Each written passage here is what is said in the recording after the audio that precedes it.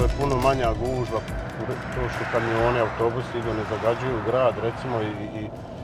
rasterećeniji je saobraćaj i puno je manje nesreća, puno se brže dođe, normalno ljepše i za vosti udobnije, tako da za mene znači puno, onaj, tako recimo da do Sarajeva i nazad možeš otići sad, kao što smo prije išli za, u jednom pravcu.